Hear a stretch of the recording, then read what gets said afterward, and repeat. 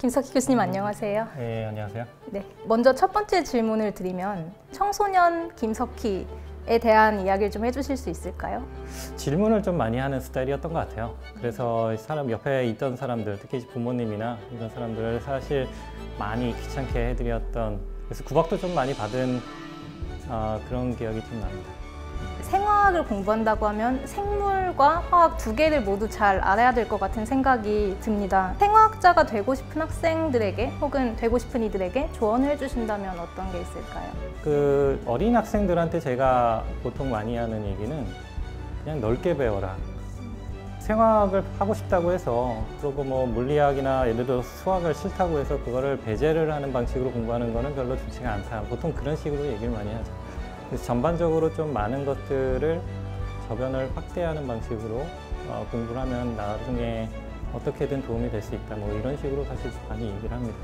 질병을 치료하겠다라고 하는 어떤 좀 어, 공통된 관심 같은 게 있다 그러면 그러면은 이거를 어떻게 치료를 할 수 있을 것이냐에 대한 어떤 새로운 생각을 만들기 위해서는 그에 대한 기본적인 바이올로지든 케미스트리든 여러 가지를 배우게 된 거라고 생각이 들어요. 지금 관심이 있는 분야가 특히 이제 물질을 다루고 그것들을 이용해서 질병을 치료하는 데 관심이 있다면 예, 이런 쪽에 공부를 넓게, 폭넓게 공부를 하는 게 좋을 것 같습니다.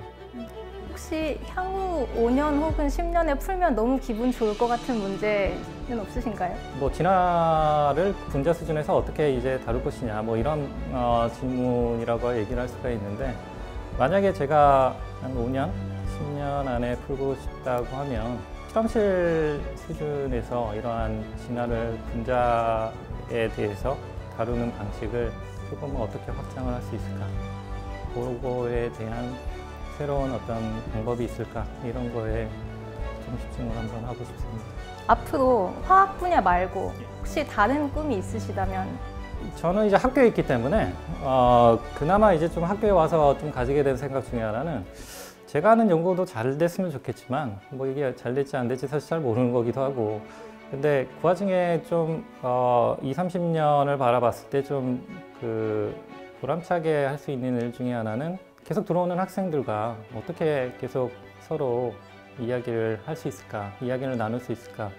뭐 교육이라는 관점에서 보면 제가 뭐 가르치는 입장이 되니까 이제 가르친다고 표현이 될지 모르겠는데 궁극적으로 봐서는 서로의 생각과 경험과 이런 것들이 많이 다른데 그래도 제가 어느 정도 경험을 하는 입장에서 제가 얘기를 했을 때 그 학생들이 그것을 받아들여서 자기의 미래를 설계하는데 이용할 수 있을까 이런 것들을 좀 보고 어, 저도 배우는 그런 많은 경험이 되었으면 하는 그런 생각이 있습니다. 네.